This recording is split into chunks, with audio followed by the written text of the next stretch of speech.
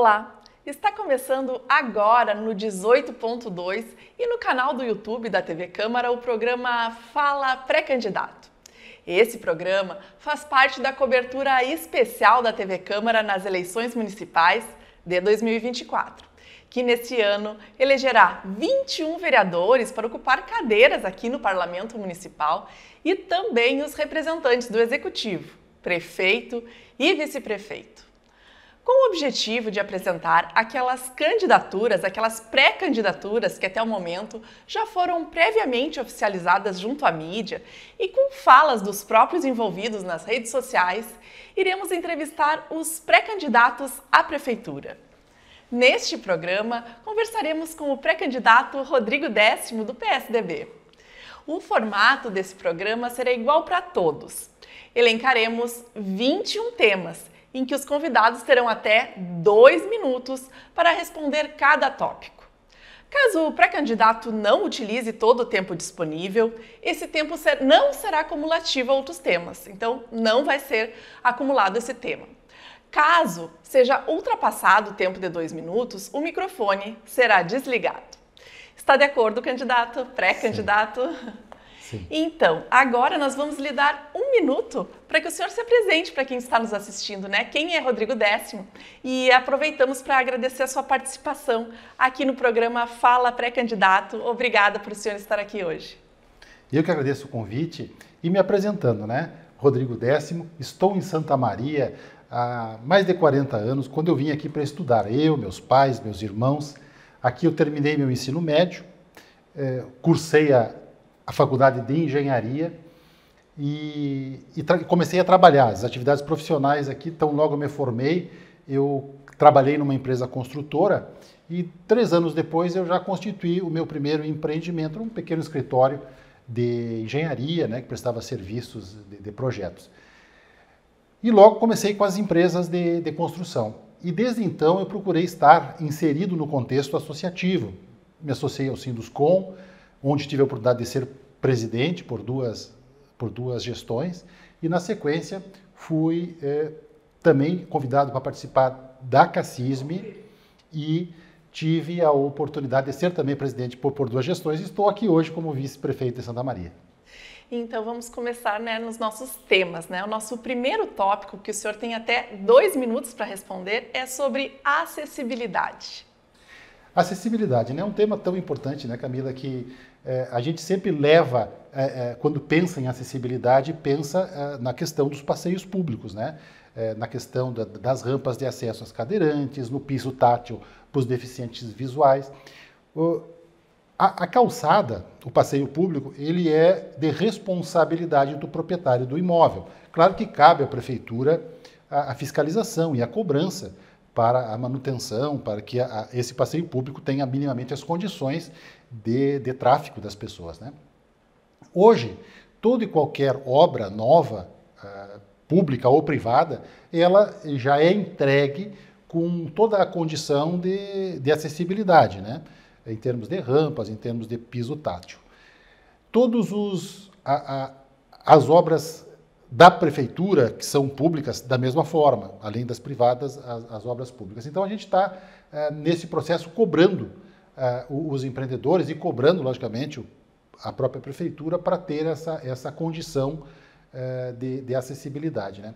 Mas eu aproveito a oportunidade até de, de explorar um pouco mais o tema acessibilidade. Né? Claro que a acessibilidade, como eu digo, a gente sempre foca na questão da, do acesso às pessoas. Mas mais do que, do que isso está a inclusão das pessoas. E nesse contexto nós temos um grande movimento que é de eh, inclusão que é o Distrito Criativo Centro Lugar, e aqui no nosso centro histórico, que é trazer as pessoas de qualquer raça, qualquer religião, qualquer opção sexual, para que a gente possa estar dentro de um contexto, de um, de um movimento criativo, do, de um movimento que inclua as pessoas. Então, mais do que simplesmente ter as calçadas, que é um foco, que é importante, nós precisamos ter uh, o, o conceito de acessibilidade de uma forma mais ampla.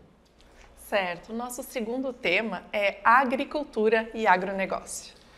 Com relação à agricultura, Camila, nós temos, eh, acho que a gente pode, em virtude do momento que nós vivemos, né, dividir em dois grandes uh, uh, etapas, antes de maio de 2024 e pós maio de 2024. Infelizmente, as, as, as chuvas, intensas chuvas que, que assolaram Santa Maria e todo o estado do Rio Grande do Sul modificou efetivamente o contexto da agricultura como um todo. Né?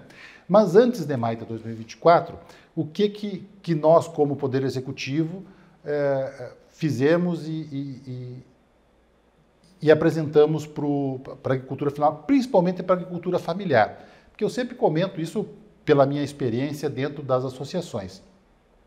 As associações, sindicatos, eles têm muito sentido para aqueles pequenos, porque os grandes, as grandes construtoras, elas, têm é, condições próprias de se estabelecer, quer seja negociações, quer seja é, aquisições, é, de uma forma muito autônoma e, e, e, logicamente, atendendo seus interesses. Os pequenos precisam estar em, em, grupos, então a gente trabalha muito os interesses da agricultura familiar. E aí nós temos o PA, que é o Plano de Aquisição de Alimentos, que adquire 100% dos alimentos para as cozinhas comunitárias da agricultura familiar. A merenda escolar, 40% é adquirido através da agricultura familiar. E assim, tantas outras iniciativas, como uh, mudas frutíferas, muda de hortaliças, uh, açudes, microaçudes, alevinos, etc., que a gente distribui para a agricultura familiar. Pós maio de 2024, é, efetivamente é algo que a gente tem que começar a trabalhar, porque a gente tem uma dimensão até agora, através da Emater, que, que as perdas aconteceram em torno de 150 milhões de reais aqui em Santa Maria. Então, nós temos que conversar muito com os setores, com os sindicatos. Nosso terceiro tema é autarquias e empresas públicas. Nós temos em Santa Maria duas autarquias, né, que é o IPLAN, que é o Instituto de Planejamento, que tem é, como objetivo ah, pensar a cidade. Né? Desde que o IPLAN foi constituído, originalmente lá eh, nos anos 2000, com o nome de eh, Escritório das Cidades, né?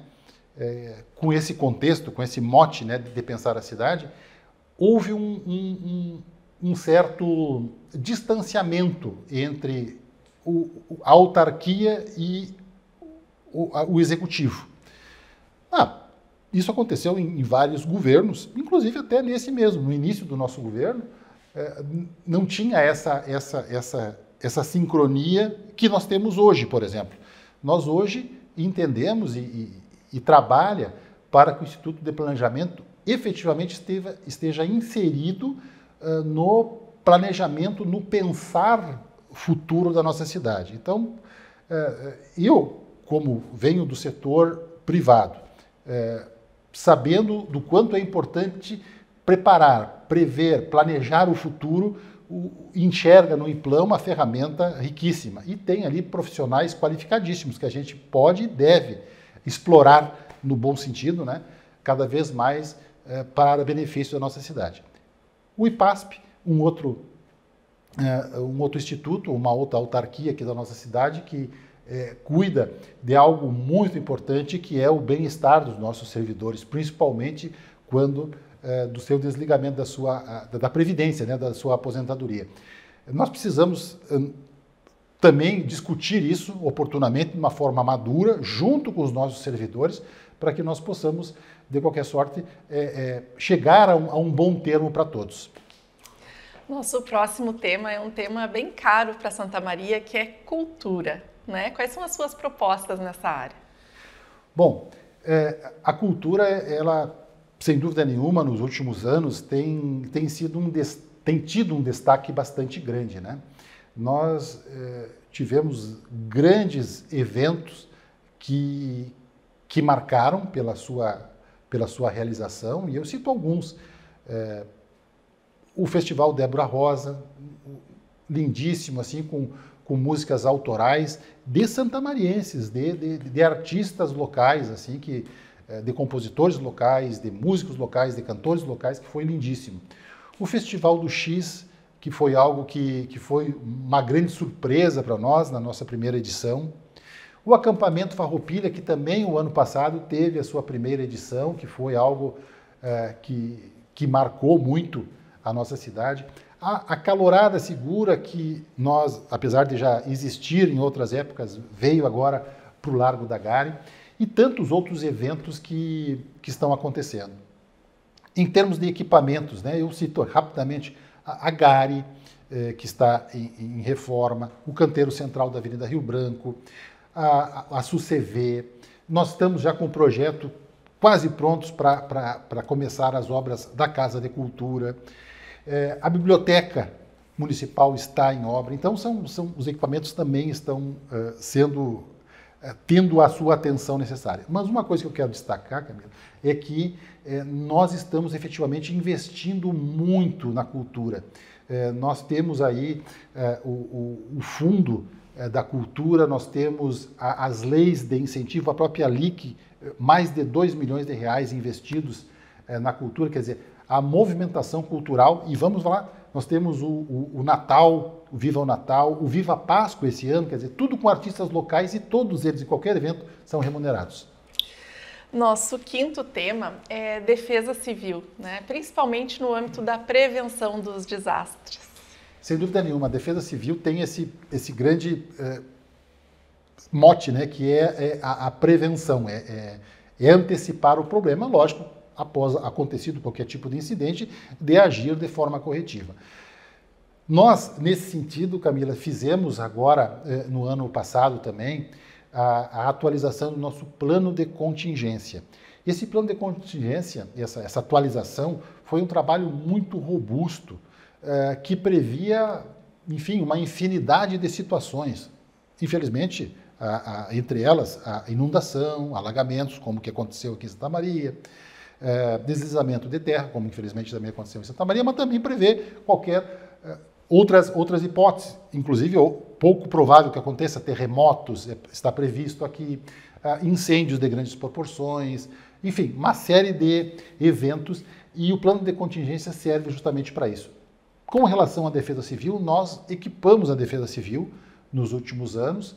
É, mantivemos um estoque de, de, de, produtos, de insumos que, via de regra, eh, numa, numa situação mais crítica, ele é demandado, como, por exemplo, telhas, lonas plásticas, cestas básicas, água. Isso nós temos sempre em estoque, justamente para quando a gente enfrentar uma, uma situação eh, como nós enfrentamos agora, recentemente, a gente tenha minimamente uma condição de dar uma pronta resposta. Isso tudo é, nesse sentido, né, da, da, defesa civil trabalhar de forma preventiva. É, também com relação à defesa civil, nós apresentamos, também prevendo, né, antecipando os problemas, apresentamos ao governo federal dois projetos que, que era de contenção de encostas, que agora foi contemplado a, a Rua Canários e a, e a Churupa, né, Nossa Senhora Aparecida, e também um projeto para desassoreamento de macrodrenagem no nosso município. Nosso sexto tópico é desenvolvimento econômico, trabalho e tecnologia. Pré-candidato, até dois minutos para o senhor responder. Camila, tu sabe que é, esse, é, esse é um tema que eu, que eu tenho um, um real, um particular apreço, porque é, é, da onde que eu venho, né, do, do setor produtivo. E, e, e, nesse período nós implementamos muitas coisas boas, assim, que, que, que tornam Santa Maria uma, uma cidade interessante e boa de se investir. Isso é traduzido assim em muitos indicadores nacionais que nos são apresentados. Índice de concorrência dos municípios, índice de cidades empreendedoras, índice de cidade inovadora e sustentável, que nos coloca, que coloca Santa Maria eh, num bom patamar. Isso se deve ao quê? Nós temos é, leis de incentivo, nós temos o Avança Santa Maria e nós temos o Polo do Distrito Criativo Centro Gales. São duas é, legislações que dão incentivo aos empreendedores, tanto incentivos fiscais como incentivos econômicos. Nós temos dois, duas linhas de crédito, o Juro Zero, que é uma política agora de governo, e o Distrito Criativo Cred. Uh, a primeira, como o próprio nome sugere, o juro zero, é, é, um, é empréstimo sem cobrança de juro nenhum, para microempreendedores, até 10 mil reais. É, já o, o Distrito Criativo Cred vai até 150 mil reais. Nós temos também a qualificação de mão de obra, nós temos o Capacita Mais, da Secretaria de Desenvolvimento Econômico e o Emprega Santa Maria, da Secretaria de Desenvolvimento Social.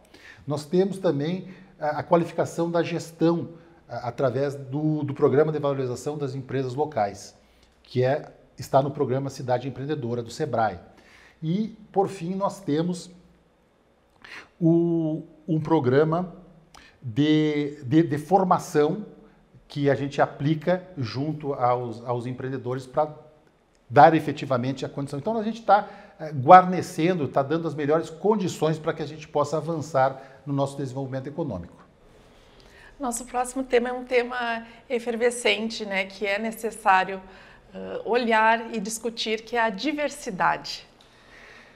A diversidade é, é um, é um tema efetivamente é, muito caro a todos nós, né? É, e, e, aí eu, eu, eu, trago novamente a, a, a, a, nossa, a nossa conversa, o Distrito Criativo Centro Gari, que tem efetivamente a, uma das seus principais motes e objetivos é a inclusão. E aí é, é, a inclusão, assim, considerando todas as, as formas de diversidade, né? quer seja a questão religiosa, a questão racial, a questão de gênero, a questão, enfim, do que é, for de diferente para o distrito criativo é super positivo, porque é nas diferenças que a gente encontra inspiração e formas para poder é, avançar e ser efetivamente criativo, né? Não é junto com as mesmas pessoas que têm os mesmos pensamentos, que têm as mesmas ideias, que a gente vai ter alguma coisa de pensamento diferente. É justamente na troca que a gente consegue evoluir. É, claro que a gente precisa tratar, sem dúvida nenhuma, quando a gente fala em diversidade, a gente tem que é, é, olhar efetivamente com, com, mais atenção para aquelas situações em que é, grupos são, de alguma forma, descriminalizados ou são não tão contemplados. Nesse sentido, nós temos o, a clínica Transcender, que é justamente para atender uh, os transexuais, né, de uma forma digna, de uma forma atenciosa, de uma forma exclusiva, onde além das do atendimento clínico, eh, médico que eles precisam, nós damos um suporte psicológico, eh, a questão da, da, saúde bucal também é atendida nesse momento, inclusive até tem uma, uma parceira, uma empresa parceira, que formula currículos para os transgêneros justamente para poder inseri-lo no mercado de trabalho. E com relação a, também à questão racial, né, nós temos sempre um contato muito grande com o Compir, que é o, que é o conselho que trata é, da, da, igualdade racial. Então a gente procura contemplar de todas as formas a, as desigualdades e justamente a gente poder avançar nesse sentido. Sobre o tema educação, quais são as suas propostas? O senhor tem até dois minutos. Educação também é outro tema muito, muito caro para todos nós. A gente tem conseguido, né, nos últimos anos, avançar muito. E a gente, quando fala que é, fala o que aconteceu, logicamente que a gente tem planos e ideias para o futuro e, e, e, fazer melhorar aquilo que já está bom e, e, corrigir aquilo que a gente pode efetivamente corrigir. Mas na educação eu acho que a gente conseguiu atender praticamente todas as áreas, não que, que isso nos dê é, é, nos deixe satisfeitos, não. A gente conseguiu fazer novas escolas, né, novas é, com vagas novas, são no total desses sete anos e meio das duas gestões são sete novas escolas de ensino infantil. Nós fizemos reformas, que é praticamente uma, obras novas né, de escolas de ensino fundamental. Contratamos mais de 1.400 professores nesse período. É, instituímos os uniformes, né, algo que, que, que vai atender todas as, as 20 mil crianças é, da nossa rede municipal. Agora, recentemente, começamos a entregar o kit inverno que é uma jaqueta, é um moletom, enfim, tem para menino, para menina. E o legal dos uniformes, Camila, é que não é só para as crianças. O, os, os, adultos do EJA também estão recebendo. Eu tenho agora ido é, é, participar do início das turmas do EJA e todos lá uniformizados, todos lá muito legal. E para eles é super, enfim, motivo de orgulho, motivo de pertencimento, né? Então, fizemos um investimento grande também em material didático, foi mais de 4 milhões de reais que a gente investiu em livros didáticos para as nossas crianças. Então, a, a, a educação, ela, ela, ela teve, é, está tendo, assim, um salto de qualidade bastante grande. Uma coisa que é muito significativo é o espaço Edutec, aqui é, na Vila Belga, no, no mercado da Vila Belga, que é um espaço diferenciado para os nossos estudantes e professores. Tempo encerrado. Nossos próximos assuntos são esporte e lazer.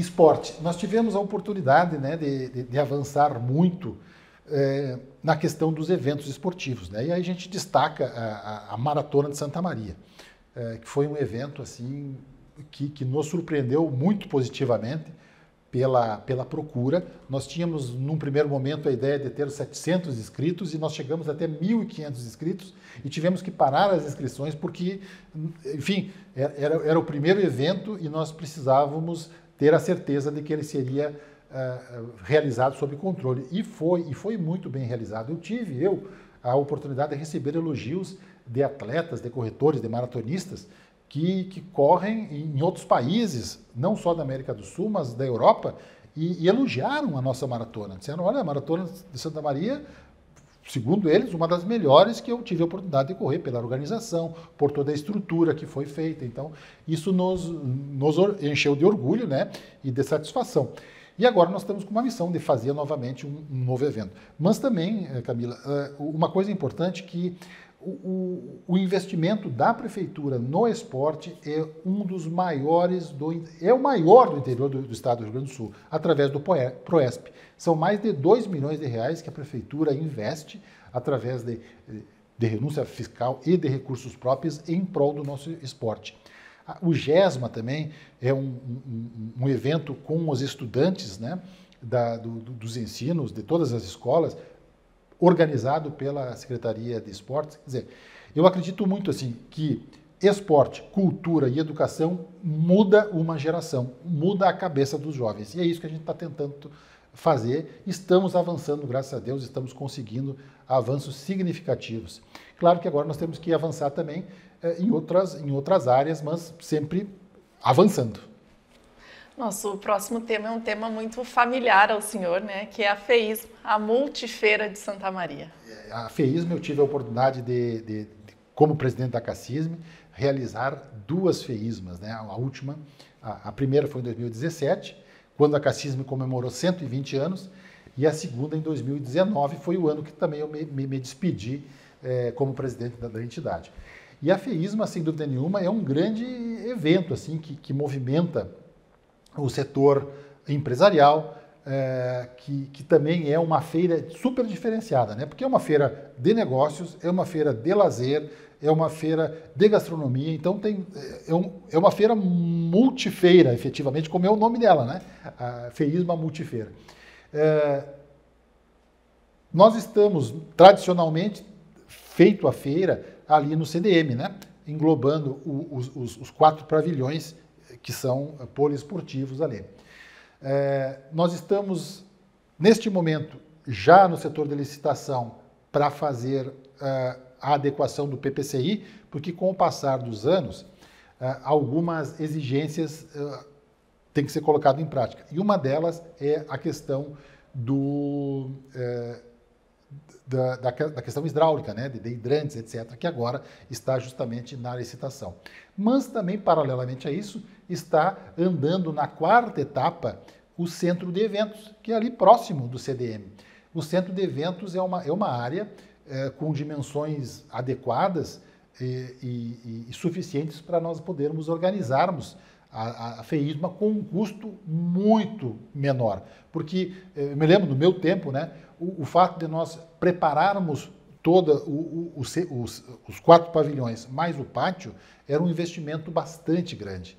É, e a gente tem que sempre estar tá procurando propiciar que as empresas e as pessoas vão até o, o com o menor custo possível.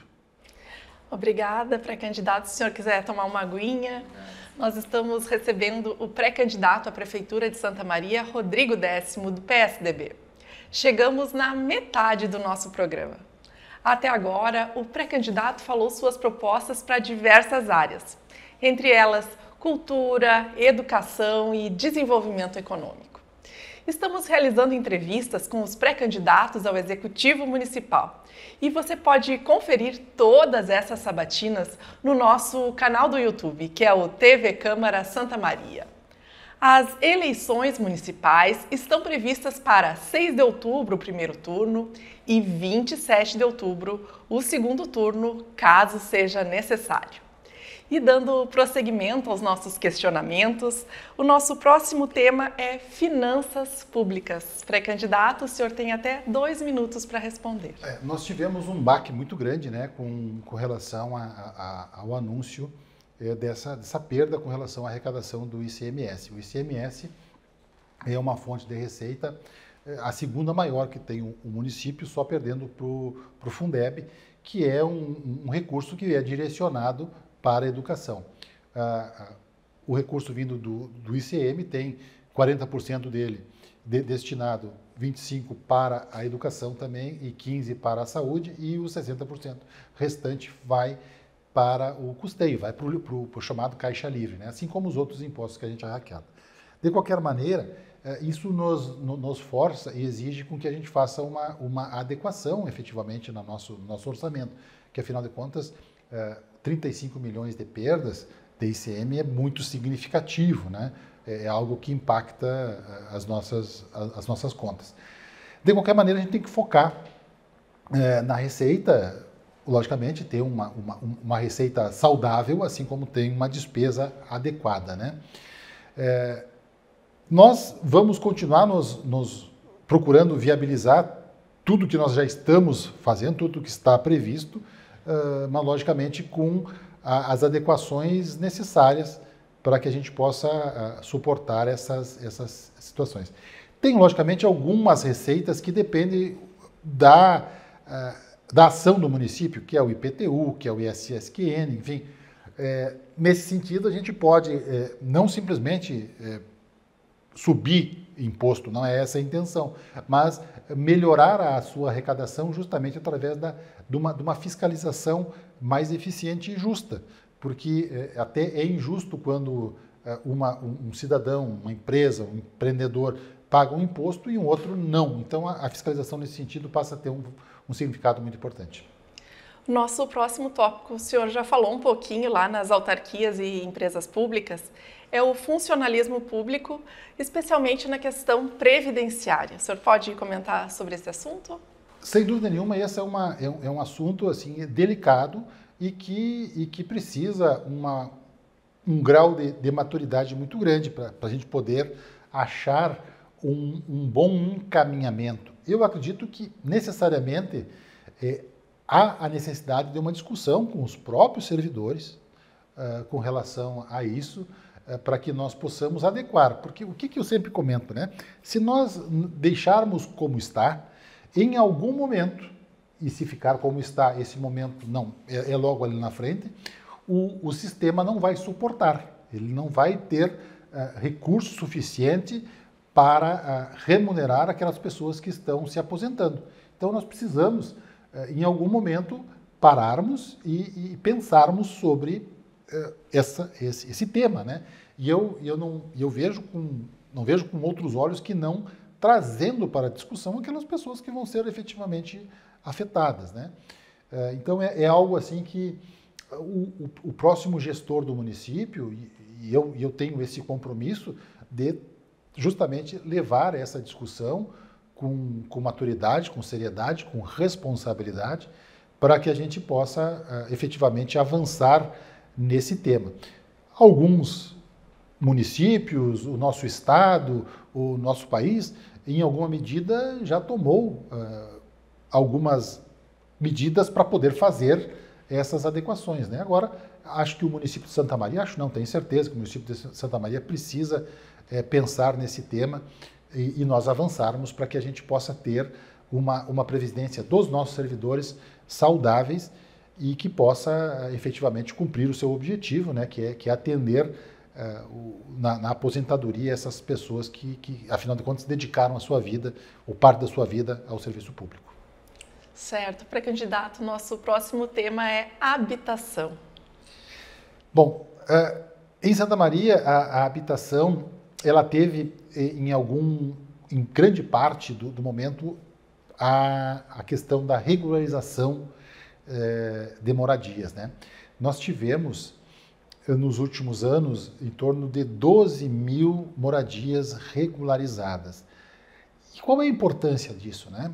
É, aquela, aquela pessoa que não tem o documento do seu imóvel, ele tem até uma certa dificuldade eh, de, de, melhorar a sua moradia através de algum recurso, por exemplo, da Caixa Econômica Federal. Ele precisa ter uma matrícula, ele precisa ter, enfim, uma, uma, uma documentação mínima é, do imóvel. E nós avançamos muito nos últimos anos. Como eu falei, em torno de 12 mil imóveis receberam essa certidão de nascimento. Né?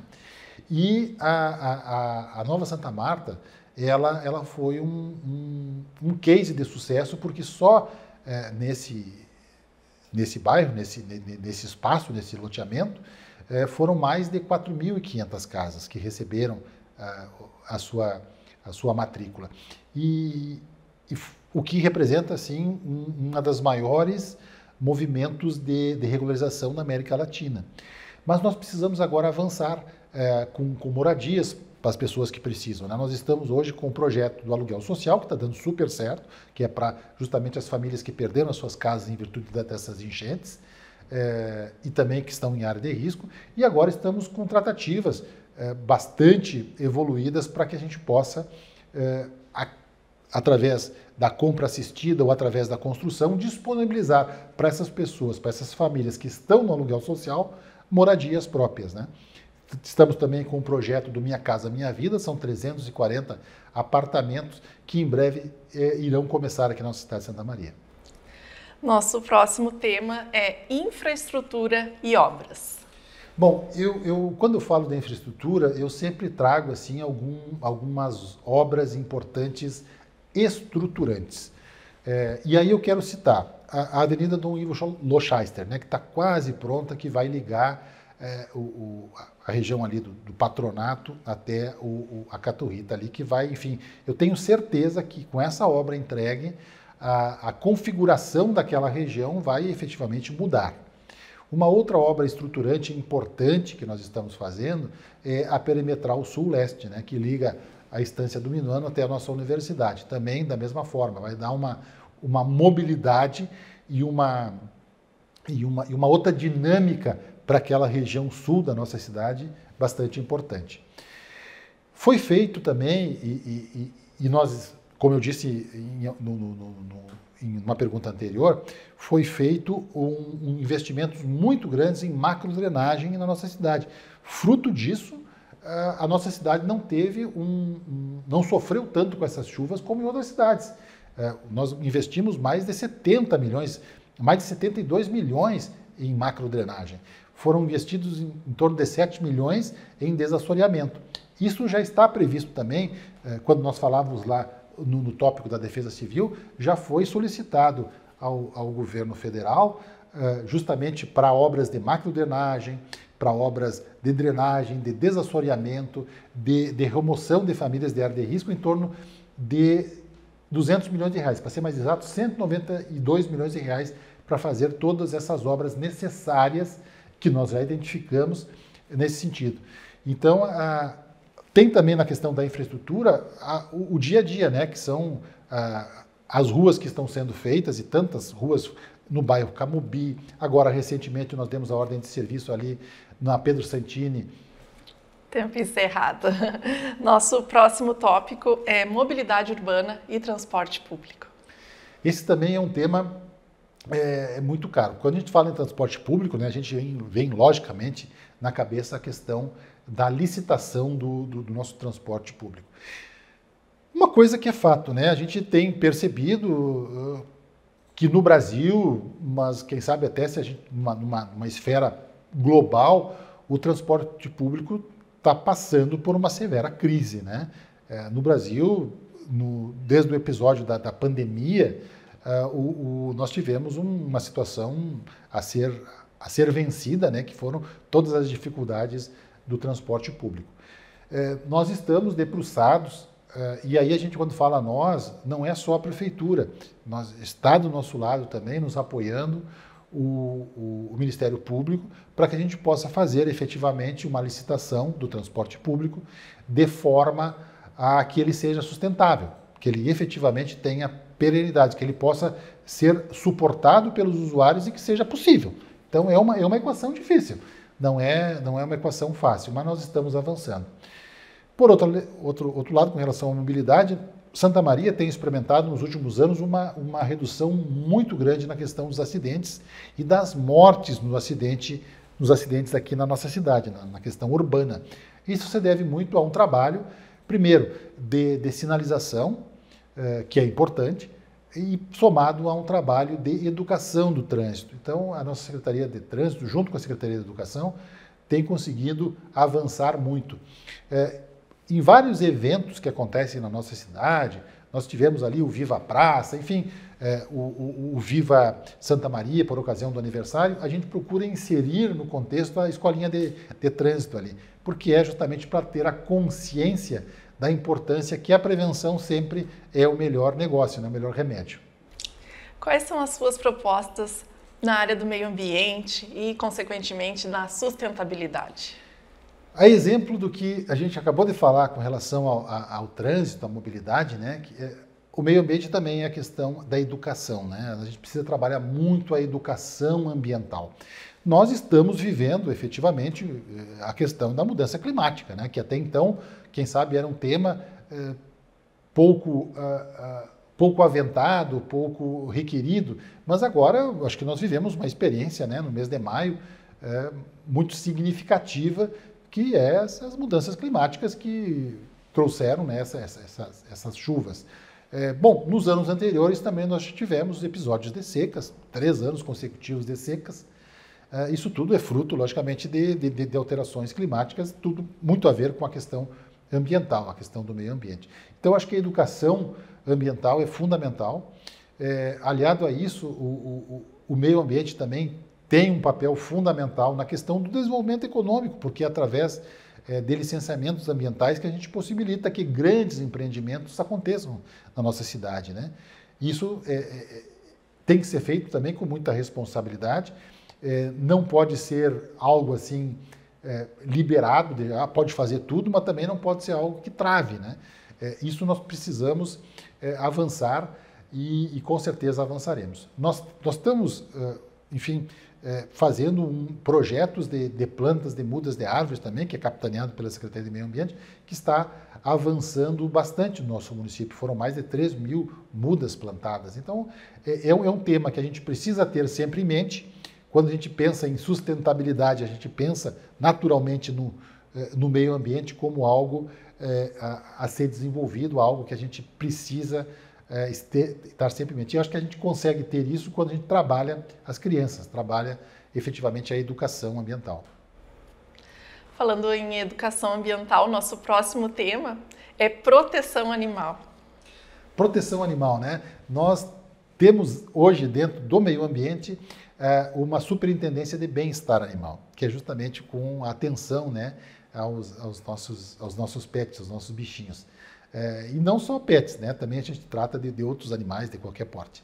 De qualquer maneira, é, nós temos uma, um, um, projeto que é o Castra Móvel, né? que, que, também nesses últimos anos avançou muito, foram mais de, de 3 mil uh, castrações, e, e, o, e, um veterinário estava me explicando que, uh, que, que, os animais, principalmente os animais de rua, uh, procriam de uma forma muito severa. E, uma, e um animal, um cachorrinho, um gato, ele, ele com, um ano, até menos de vida, ele já, já, já procria também. Então, e quando dá, dá uma ninhada, né? Não é um, é dois, três, quatro, cinco, seis, enfim, é, filhotes. E isso, é, se não é feito um trabalho de, de controle dessa, dessa natalidade através da castração, né? Uh, isso é um, é um, se torna um grande problema. Junto com a castração, nós temos a microchipagem, né? que é o, a carteira de identidade dos, dos bichinhos. Temos também um, um, trabalho com a, com a IBEA com relação aos animais de maior porte, principalmente os, os, os cavalos, né, é, que é feito o tratamento. E uma coisa super interessante que é, durante a, a, esse episódio aí da, das chuvas, eu recebi uma, uma ligação do IBEA, justamente é, pedindo uma ajuda, um auxílio para encontrar um espaço para receber os pets, principalmente das famílias que estavam eh, sendo desalojadas ou desabrigadas. E, e aí eu tive a oportunidade de ligar para a Universidade Federal de Santa Maria e nós conseguimos, através de uma, de uma, de uma união de esforços, um local, junto com o hospital veterinário, um local para receber esses pets, que foi super legal. E foi assim de uma em menos de 12 horas quase estava tudo organizado. Foi na tardezinha do domingo até no outro dia de manhã. Nosso próximo tema é um tema bastante importante, né? não só para o município, para o Brasil inteiro, que é saúde. Saúde, né? Sem dúvida nenhuma é algo que é, todo mundo, eh, quando não tem, né, é, é, é, que a gente procura. Mas a, a, gente precisa trabalhar de forma também preventiva, né? Aí a, a importância dos agentes da, comunitários de saúde, a importância da vacinação, é, enfim, é todo um, contexto preventivo que cada vez mais precisa ser trabalhado. Nós tivemos na, a, a oportunidade nos últimos anos de, de, de entregar para a comunidade alguns equipamentos, algumas unidades básicas de saúde importantes, né, como do, do quilômetro 3, ali no bairro João Goulart, ou no Alto da Boa Vista, ali na Santa Marta, eh, duas, duas unidades de saúde novas, né, e, e principalmente a do quilômetro 13 é, uma, é, é a chamada a unidade completa, né, que tem a, a, parte de médica, logicamente, né, que todas têm, mas tem a parte odontológica, tem a parte de farmácia, enfim, é, é, uma, é uma entrega bem importante para aquela região que tanto precisava né, de ter uma, uma unidade de saúde para melhor atender aquela população.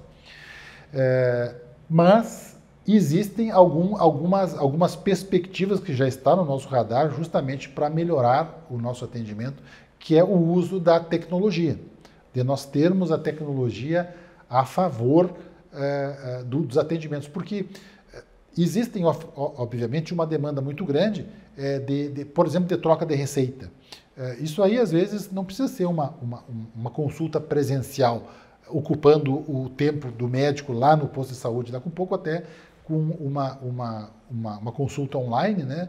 com a telemedicina, a gente pode atender essas necessidades. Então, é algo que já está no nosso radar e que nós vamos avançar eh, bastante nos, nos, próximos meses, próximos anos, justamente dando à população essa condição eh, com relação ao uso da tecnologia a favor da, da, da medicina. Nosso próximo tema é segurança pública. O senhor tem até dois minutos para discorrer sobre esse tema. Segurança pública também é outro tema que a prefeitura eh, trata com muita atenção.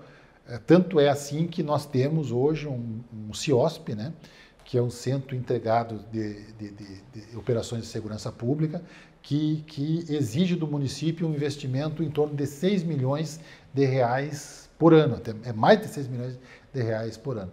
E no CIOSP, nós temos em torno de 1.400 câmeras de vídeo monitoramento. É um número bastante significativo. É, se nós compararmos com outras cidades, até de maior porte, que tem um número de câmeras menores. E esse sistema, ele, ele ele é super completo, inclusive até é, com relação à, à, pergunta anterior e, e, com relação ao CIOSP, hoje nós te, temos lá no CIOSP o SAMU, a regulação do SAMU é toda feita no CIOSP, porque tinha uma, uma situação que era muito comum. A, a pessoa, quando estava é, no, no, no, desespero para o atendimento, ligava para o CIOSP, é, ligava para os bombeiros que estavam lá no CIOSP, e ligavam para o SAMU. E às vezes era comum chegar as duas ambulâncias. E agora lá existe uma racionalidade, né? Efetivamente pode ir a ambulância dos bombeiros, mas também, mas vai só uma, ou vai a do SAMU, ou vai a dos bombeiros, racionalizando, deixando à disposição os demais equipamentos. É, e uma coisa que é super positiva do, do, do CIOSP é é a questão da integração com as forças de segurança. Né? Nós temos a nossa guarda municipal, que foi é, equipada é, que, e que tem hoje muito melhores condições do que algum tempo atrás. E os equipamentos são de toda ordem. Inclusive, hoje nós temos na Guarda Municipal o uso de, de arma, arma de fogo, logicamente, que é liberado sob critérios bastante rigorosos. É, de, de, todos os guardas municipais, somente um, em torno de 30, 30 e poucos que têm essa permissão do uso de arma de fogo. É, então, são, são avanços que nós, que nós temos, mas que temos ainda mais margem para avançar. Estamos nos encaminhando para o final do programa e o nosso penúltimo tema é turismo. Turismo, né? É, nós sempre ouvimos falar, e eu em especial sempre ouço falar, né, na, que, do potencial de Santa Maria e da região para o turismo. Mas esse potencial acaba sempre ficando assim, no, só a nível de potencial, potencial, potencial. potencial. Nós estamos vendo aqui agora na, na, na quarta colônia eh, e, na, e, na, região de, de, Caçapava do Sul a questão do geoparque. Eu acho que é uma baita de uma oportunidade que nós temos para poder, de forma regional, trabalhar o turismo. Mas falando aqui em Santa Maria, e eu já citei em outras perguntas, em outros tópicos anteriores, a questão do distrito criativo, Centro Gare. E ele tem essa, esse, esse viés também, né, de nós termos um local que, que através da, da, da memória ferroviária, seja um, local atrativo para o turista. Além do nosso turista local, né, além de ser um local agradável para os moradores, para os nativos da cidade, aqueles que vêm de fora, principalmente das regiões, das cidades do entorno, encontrem aqui no Distrito Criativo um local eh, bom e interessante para poder é, é, trabalhar com a cultura, com o patrimônio, com as artes, com o lazer, com a gastronomia. Nós estamos com a nossa Gare com a obra bastante adiantada. Nós já estamos fazendo a reforma do canteiro central da Avenida Rio Branco. É, nós temos um projeto que foi contemplado pelo Iconicidades, que é um, um, trabalho do governo do estado, para o, o, Clube dos Ferroviários, para a Associação dos Ferroviários, que vai ser um prédio lindíssimo ali. A reforma né, vai ser um espaço dedicado à economia criativa e à EMAET, que é a Escola Municipal de Artes Eduardo Trevisan. Então, são, são projetos que estão uh, em andamento e que vão dar um resultado muito grande. A Secretaria de Desenvolvimento Econômico e Turismo também já faz um trabalho muito legal de qualificação da mão de obra das, uh, do, do, dos, das instituições de turismo. Nosso último tema, e não menos importante, né, são as relações governamentais. Então, a relação da prefeitura com o Estado, com o governo federal. O senhor tem dois minutos, né? Nossa última questão. Camilo, o que, eu tenho percebido assim, ó? É, é, independente de ideologia, é, de, de, alinhamento partidário, o que, que eu percebo nessa minha experiência é, no executivo? Que, que tanto nas três esferas de governo, municipal, estadual e federal, é, existe uma, uma relação republicana é, que os gestores é, eles é, têm essa, essa relação de forma a atender aquelas pessoas que mais precisam, que é a população. Não é porque o governador do estado está alinhado ideologicamente comigo que ele vai me dar benefícios em detrimento de outras cidades que não tenham o mesmo alinhamento.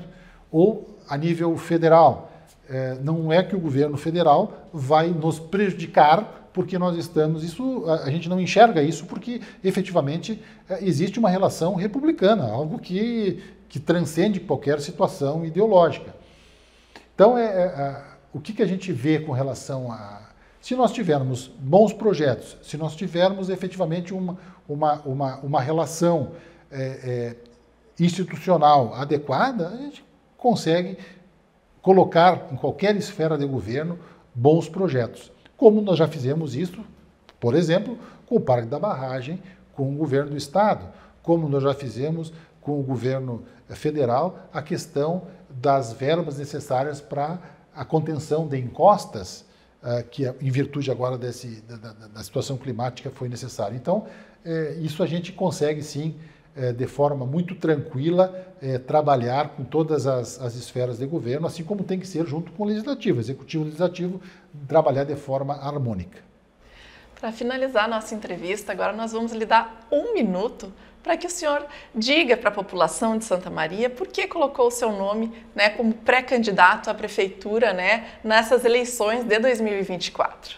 Bom, eu, eu estou com o meu nome como pré-candidato para a Prefeitura de Santa Maria porque efetivamente eu me sinto em condições de, de ajudar uh, Santa Maria.